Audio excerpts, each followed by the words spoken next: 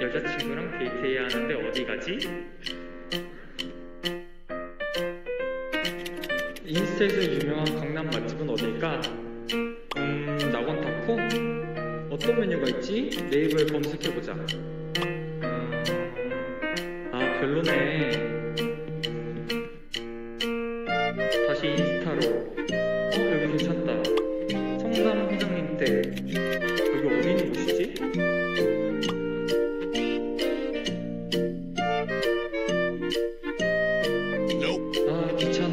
번에 보여주는 곳 없나? 인스타그램 핫플레이스를 한 번에 보여주는 미소가 있지?